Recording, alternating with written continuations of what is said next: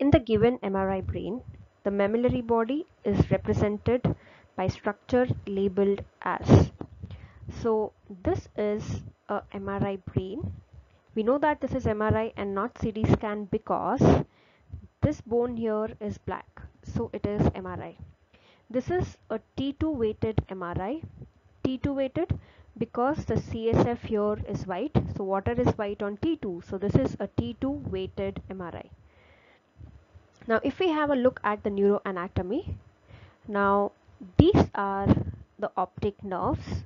This is the this is the optic tract and here medially to the optic tract we see this mammillary bodies.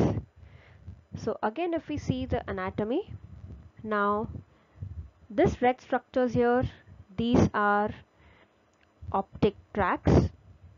Similarly here on MRI, these red structures here, these are optic tracts. We saw medial to optic tract as mammillary body.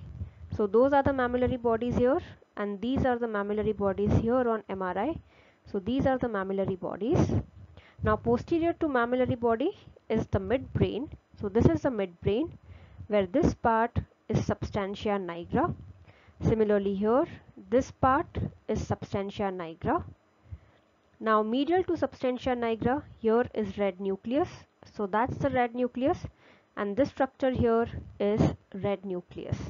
So the structure labeled A is optic tract, not optic nerve. Structure B is mammillary body. Structure C is substantia nigra and structure D is red nucleus.